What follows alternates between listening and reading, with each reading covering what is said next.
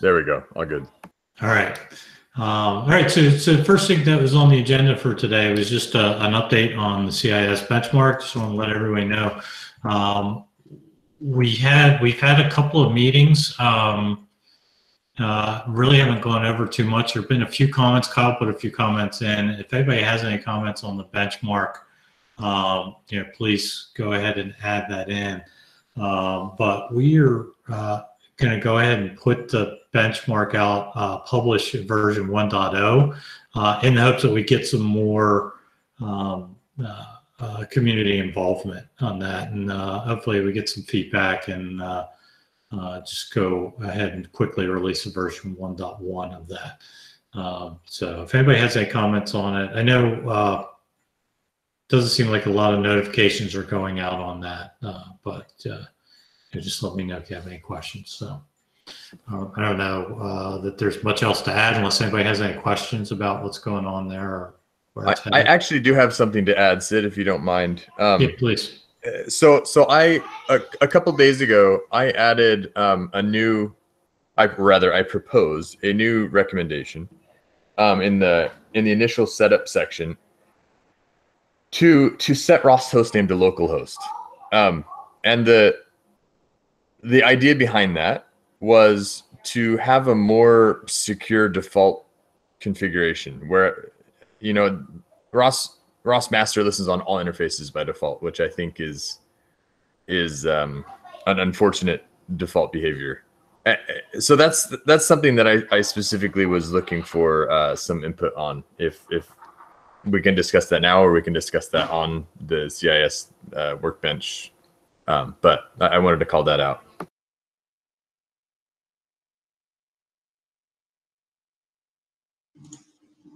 Okay, kind. So uh, you can see here the the issue on Jira that uh, Gerardo created. Um, he's saying here um, the approach regarding oppressing the file. And there was some conversation already uh, that I didn't read yet.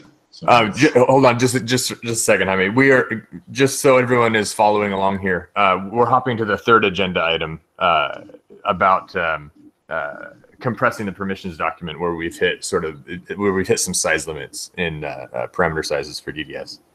Uh, go ahead, Jaime. So let us read um, the comments. Uh,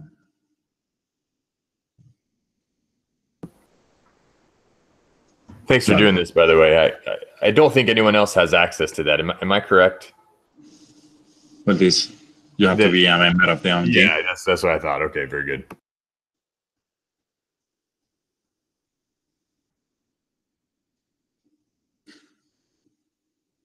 Well, okay, here we go. The handshake request message token. This is yeah.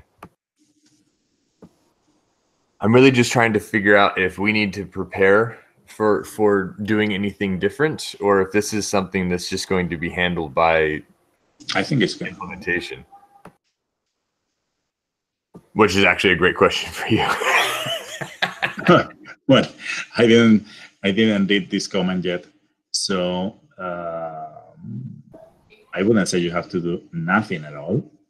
Uh, probably because well, you just provide the file and the uh, the DDS implementation is going to compress that for you. I don't think. Uh, it looks like we would use a different plugin, or it looks like you version the plugin name basically, so you can have backwards compatibility. Do you read that the same way?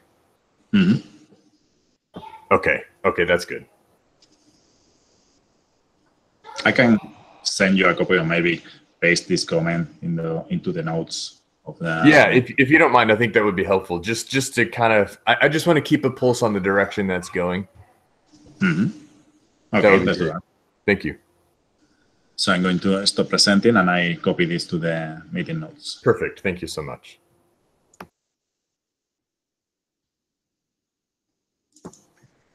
Um, so I think I, I I think that closed out the the CIS uh, agenda item as well. Unless anyone wanted to continue talking about that, I can move to the uh, SROS API bit. Alrighty. Um, so we as part of the secure launch work we're doing, um, we're we're integrating with uh, the SROS2 utilities in a way that makes it more of a library, uh, where it, it never really was, and it's and it's nice to see it becoming that. Um, but we, as part of work in Foxy, we were we tried to uh, rip out all the API that. Uh, oh, hey Roger. Um, we tried to rip out all the API that was accidentally public and, and actually curate that. And and really the point we got that to was making none of the API public because we had no users. Um, now we finally do, and, so we have a driver behind uh, some of the functionality that we have in SROS 2 and wanting to make that public. So I, I, did propose a pull request that I have linked in the agenda um, that we we could use some reviews on in, in order to enable the secure launch stuff. And, and that's really all I wanted to to raise. Yeah, I'm very happy to see uh, uh, SROS2 API being used outside of SROS2. And totally, uh, yeah. I didn't get a chance to review this yet. I'm planning on looking at it in the next couple of days. Uh, but I really appreciate the initiative and I'll go over both the pull request and the changes to the API document. I don't know if they're exactly the same or not. They uh, they are, but the I will point out um, the pull request. I, am really just trying to enable TED the like the secure launch stuff. I'm not trying to do everything in the document. So it, it's um it's a subset of it. Like none of the policy work is done, etc. It's just really the key source stuff. So keep that I, I, think that would be a pretty big pull request. So I don't want to make anyone review that. That's kind. Thank you. You're welcome.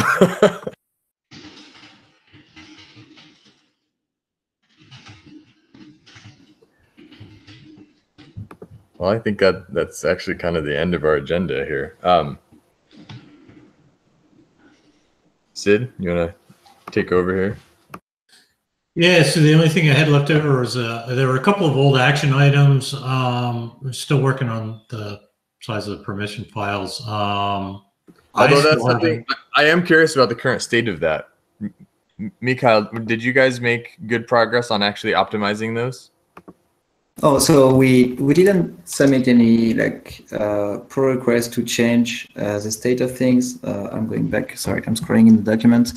Um, so, oh, there is no link to the issue. I have a pull request somewhere when we were working on the. Uh, but long story short, like we explored several ways to make these files smaller. Uh, some of them are along the lines of the things that were mentioned on discourse about like permissions that are necessary but should not be necessary. So trying to focus on the ROS2 side of things where like the behavior of RCL CPP or RCL is not necessarily the one we would want to, or at least it's requesting more permissions than it should need.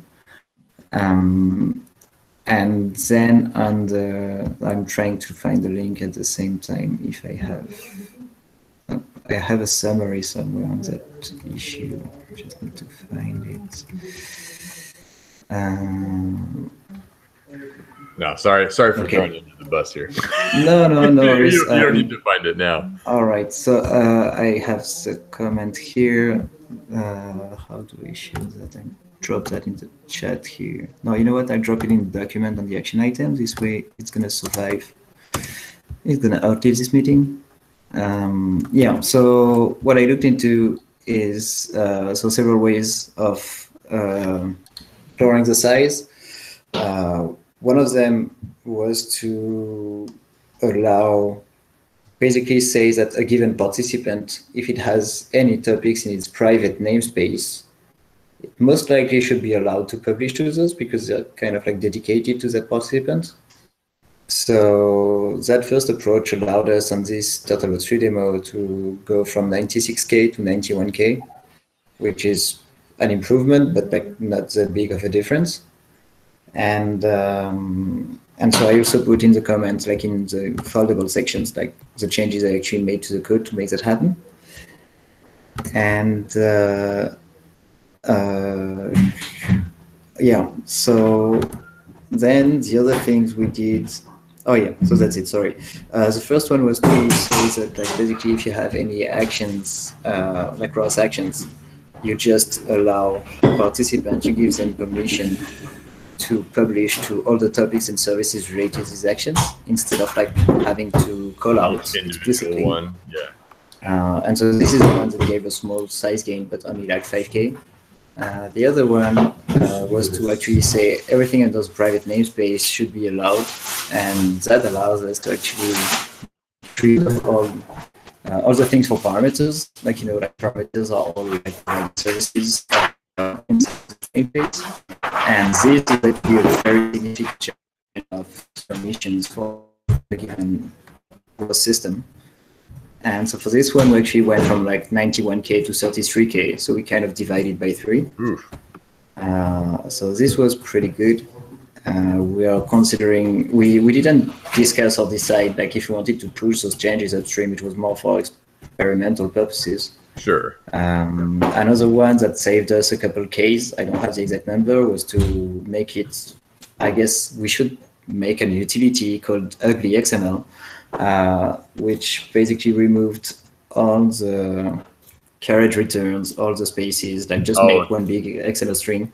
Yeah. Um, and uh, and this actually saved quite some space because like uh, quite a quite a lot of stuff is indented there. Yeah. I mean, there's a Um, reason. so- That's a, there's a reason that's standard practice in web development. You know. Yeah, for sure. And so, so yeah, this saved another couple Ks. So I think the outlook of that is uh, if we decide to to say that a node, everything under a node's namespace, private namespace, should be allowed for that node in both publish and subscribe, uh, it would solve most problems uh, as far as like permission size is concerned for decentralized systems. Then it's a matter of like, is it violating too much, like the idea of keeping, like declaring, being explicit and declaring only what we need versus uh, making an assumption that is everything under a private namespace is okay for that node. So I guess that's something we could discuss that, uh, and like if we agree that it's an okay assumption, we could then open it up to the community and the main ROS 2 developers to see if that's something they would be okay with as well. I mean, I so so that includes any any topic that is private to the node, right? And that includes that includes any parameters, right? Yep. Um, this is basically everything you would declare as like tilde slash something. I, is that anything else? I, I think that's it. Yeah. So right now it would take care of uh, yeah all the parameter stuff for the um, lifecycle nodes. It would also add all the lifecycle services and lifecycle events. And like that's basically it. But then you can think of like any node that actually has stuff on a private namespace, like this would apply to those as well. And I guess that's where it would be more specific to uh, to like specific nodes. Maybe a node want to say, oh, if my node functions properly, it has to have, like it should have only these private topics. And if another node decides to say, hey, like if a node bar say, hey, I'm publishing to slash foo slash awesome topic you should listen to, um, like should that like should that be allowed and should like bar actually be allowed like be allowed access to that topic? Well, I'm not quite following you there. Slash who slash bar would be. Oh No. no, sorry. S- sla- like basically, you would have like uh, the bar node. Like let's say the bar node is a node that exists and has like only Oh, like oh, gotcha. parameters topics, and the foo node comes and say, "Hey, I'm also publishing slash bar slash awesome topic." Uh, should that be a topic accessible to bar by default? Yeah, that's awkward. I mean, I don't see a reason why foo would ever do that, but can happen. Yeah. I mean, I, I- think we probably all feel similarly in that we'd rather not do this. but but it's a question of of I mean, obviously the compression is going to help right? And and this is all sort of trying to give us more headroom here. Compression is is one way to get more headroom. Um, uh, trying to optimize the permissions files will just give us more headroom. Um, I think the only real solution to this problem is is is where we move this out of the the handshake, right? But that's that's a ways away, and so it's really a question of do we need this to do more headroom now? Because if we do, we don't really have any other options. You, you know what I mean? I mean, it's kind of like the same discussion that we had with sharing the participant uh, with multiple nodes. We didn't really have much of an option. Yeah, that is true. I mean, like we explored several options, and like one of them could be to like just reduce the size in other ways. Uh, one of them could be to say, hey, let's wait for compression to be there and see what size of system would be impacted uh, if we just like if decentralized system could still like live with that, or if they actually need this extra optimization on the Russian side. And it's currently pretty unclear.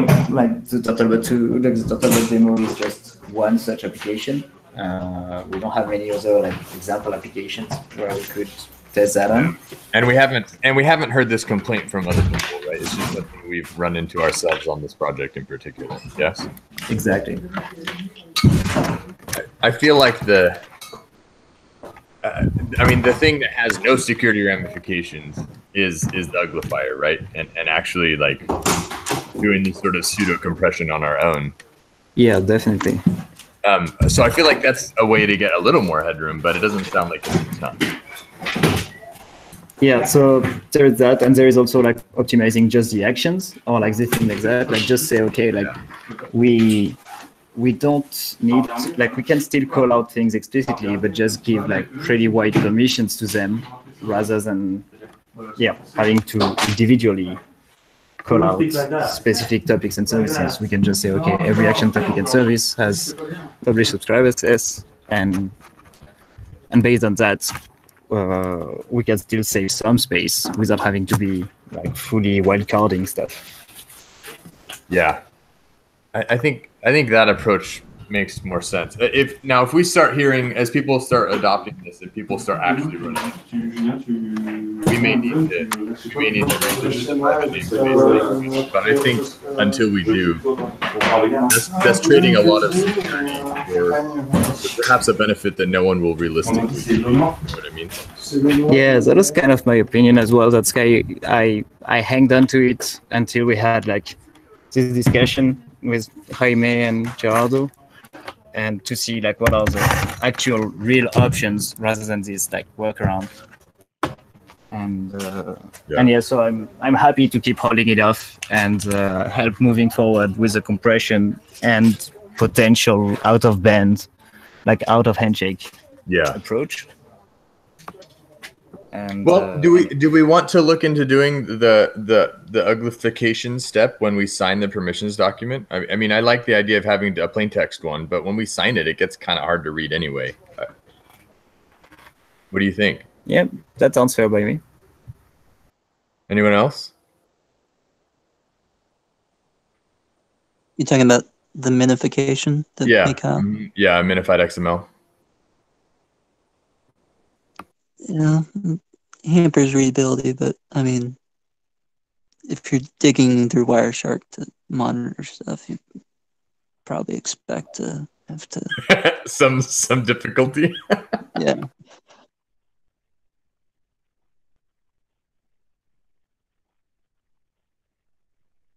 Is it worth it? I mean, it would be easy. Yeah, roughly. I don't remember the exact numbers. Do you remember how much we saved by, uh, like l- reducing, removing all white spaces and like new lines? I thought our max minification was something like thirty percent That's pretty good. um, compression. So, um, I think for the navigation turtlebot example, it it brought us back under the UDP limit for a monolithic context.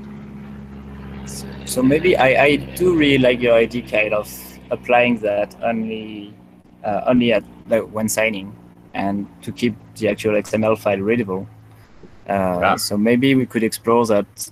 Uh, I don't know. I don't know who like Raffin, if you if you're interested in like uh, providing code for that, or if one of us should like dedicate some time to it.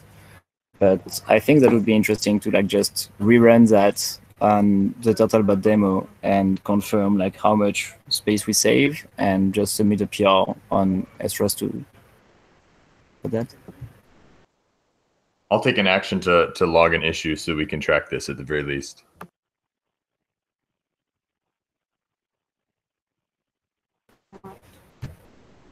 Yeah, that's a good incremental step.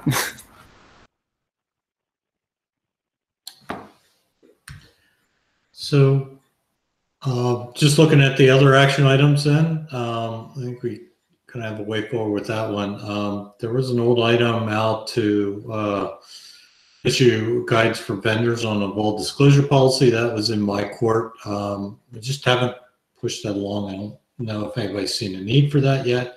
Uh, let's continue to keep that one open. Um, there was also, the next item was uh, moving the security file system environment utilities outside of RCL. Um, I know we've had a couple of discussions on that. I don't know that that's gone anywhere. It was issue five, the, the issue is linked there. The action items. Yeah, I remember we we said we'd look at that after Foxy. Yeah. Yeah, so it's been out there for a while. I don't know if there's, because there was uh, actually, I think it was a request from one of the other working groups originally.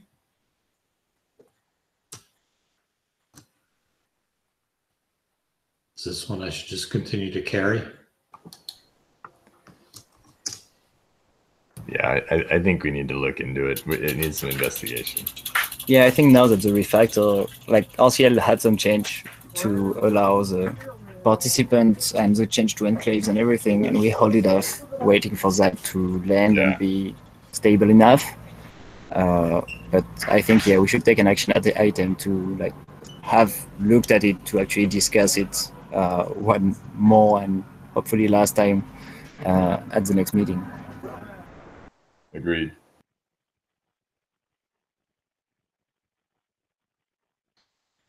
All right, so I will, uh, I'll actually try and, uh, remember to send something out in Matrix a few days beforehand so that we can, uh, actually take a look at it and then discuss it.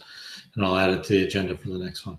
Um, and then the last thing was we had, we've had off and on touched on the idea of security use cases. I haven't seen anything move on that. I'm not sure that, uh, this, this, uh, I'm almost tempted to close this one out because I think it was a very general issue that we're, you know, as we're coming up with individual use cases, uh, we're just kind of hitting them along the way.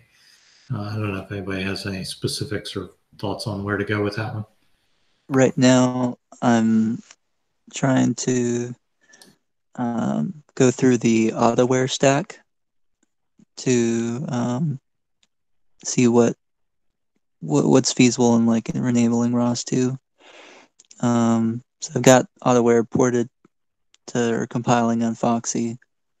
I'm working on the getting the simulation running. But then the next step is the um, auditing the computation graph for like an autonomous vehicle like that would be using AutoWare and what that would entail um, in terms of uh, um, are there any performance hits or do we run into more issues like we had with Turtlebot or um, that kind of stuff. Yeah, that's a big stack. That'll be really interesting. That was dashing, right? You're you're porting it to Foxy, is that right? Um, the, the there's already been some effort that just needs a little more polish. Um, Okay. Um, but yeah, it was it currently AutoWare is um, still targeting dashing, but I think once they're done with their uh, finished with their um, uh, their demo that they're targeting for October, the uh, valet parking, uh, Mm-hmm. they'll be migrating. Please do share Okay. as you as you learn stuff. Yeah, I was actually going to say the same thing. I, I don't know if that's like I, I don't want to call it an action item, but I feel like, uh, I mean, everybody probably would be interested in, in any updates on what you find out as we go along. I'm just gonna want to carry that along is, like, when you have some, a chance to update us on what's going on, uh, and what the results were. You know, the impact of enabling security on the AutoWare stack, that'd be pretty, really interesting. Okay, I'll uh, I'll chime in on the the matrix when I have uh, some stuff uh, pushed. Cool. So that takes us to the end of the list and just about the end of our, our, our time, unless anybody has anything else. I think, uh, that's all that we have on the agenda, at least. I guess there's one item uh, that uh, I mean, not to offload any work to anyone. Uh, there's uh, an issue that has been pending for a couple months. I mean, there have been like test failing on test security for apparently months. We don't know how long.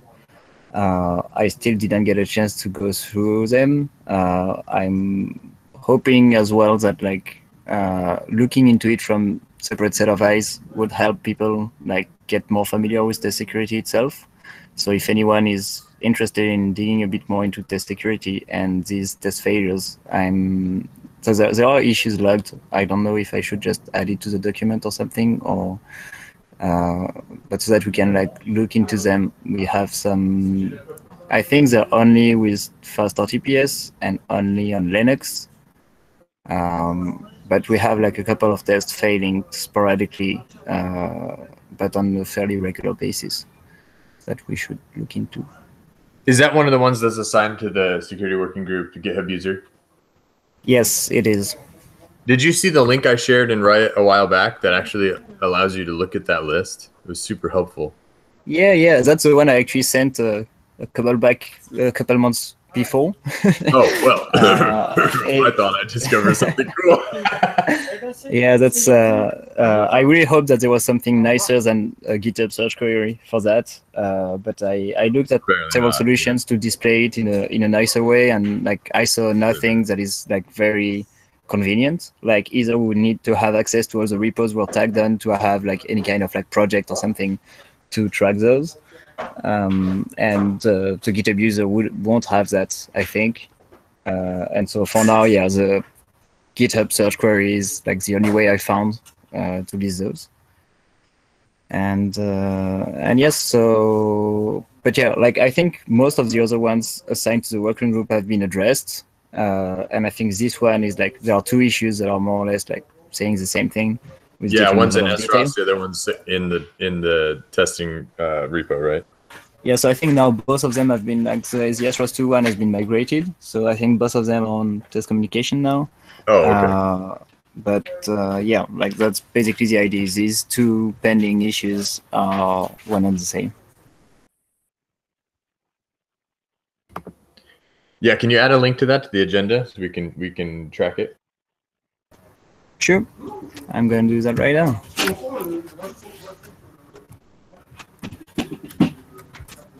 And that was it. Sorry, that that was my extra point of discussion. Okay. Uh, anybody else have anything? All right, I guess we're good for another two weeks and, uh, I'll update the, the, um, agenda for the next meeting with a few of the things we talked about and, uh, I guess we'll see you in two weeks. Thanks everybody. Great Thank chatting you. as always. Sounds good. Thanks for organizing. See you next time. See ya. See you. Bye bye. Take care. Thank you, Alex. See you. Bye, see you.